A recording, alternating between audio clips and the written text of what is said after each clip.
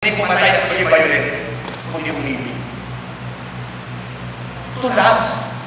At ang sinabi ni Andres Bonifacio, Mahalin mo ang Panginoon ng taimtim sa puso at wala nang namin sa sarili tuwina ng tunay na pagmamahal sa Diyos, kaya pag sa bayan at sa kapwa-tao.